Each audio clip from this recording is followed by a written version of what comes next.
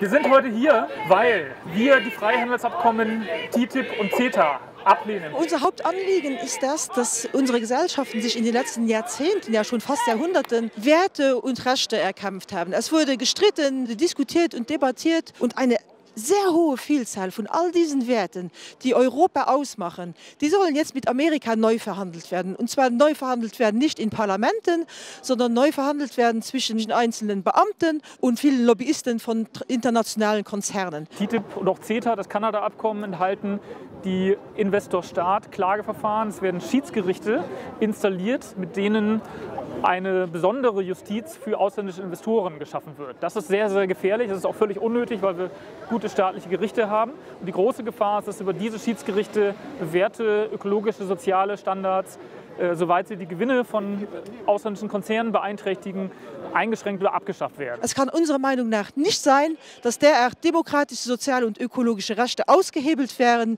Die Gefahren überwiegen die Chancen bei weitem. Es geht um soziale Rechte, es geht um Verbraucherschutzstandards, es geht um das europäische Vorsorgeprinzip beispielsweise, es geht um Chemikalienpolitik. Es sollen spezielle Klagerechte, Privilegien für ausländische Investoren geschaffen werden, die inländische Unternehmen nicht bekommen. Wir wehren uns dagegen sowohl bei dem Freihandelsabkommen am Kanada Europa als auch bei dem Abkommen Europa Amerika. Was sagen Sie zu Studien, die von dem Potenzial von 119 Milliarden Euro sprechen, zwei Millionen neue Arbeitsplätze? Diese wenigen Studien, die meistens von der Kommission selbst in Auftrag gegeben worden sind, schieben den Zeitpunkt, bis diese ökonomischen Effekte eintreten sollen, ins Jahr 2027 hinaus. Das heißt, es geht um eine Langzeitbetrachtung und zwar unter extrem äh, unrealistischen Bedingungen. Es wird unterstellt, dass alle Handelsbarrieren abgeschafft werden, äh, was bei Handelsverträgen nie vorkommt. Und es wird auch nie darüber geredet, dass es auch große Anpassungskosten geben wird. Das heißt, es werden viele, gerade in der Landwirtschaft in Europa, ihren Job erstmal verlieren. Also es gibt viele gute Gründe,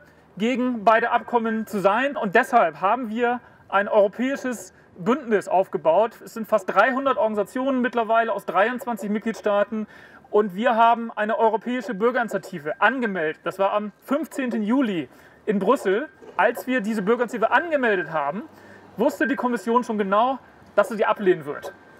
Sie haben aber trotzdem noch zwei Monate gewartet, damit wir möglichst viel Zeit verlieren und als dann kurz vor Schluss dann eben diese Ablehnung überreicht. Wir haben daraus zwei Sachen geschlussfolgert. Erstens, wir brauchen nicht die Zustimmung der Kommission für Unterschriften zusammen und wir haben innerhalb von fünf, sechs Wochen über 850.000 Unterschriften europaweit gesammelt. Und das Zweite, wir können aber auch nicht dulden, dass die Europäische Kommission unser Begehren ablehnt. Es ist fundamental undemokratisch und deshalb haben wir heute hier Klage eingereicht, weil wir auch glauben, dass es ein Präzedenzfall wäre für andere Bürgerbegehren. Wir setzen weiterhin auf quasi die Mobilisierung über eine Unterschriftensammlung. Wir werden aber auch viele, viele weitere Aktionen durchführen. Wir haben am 11. Oktober einen europaweiten Aktionstag gehabt mit vielen Demonstrationen, vielen Aktionen.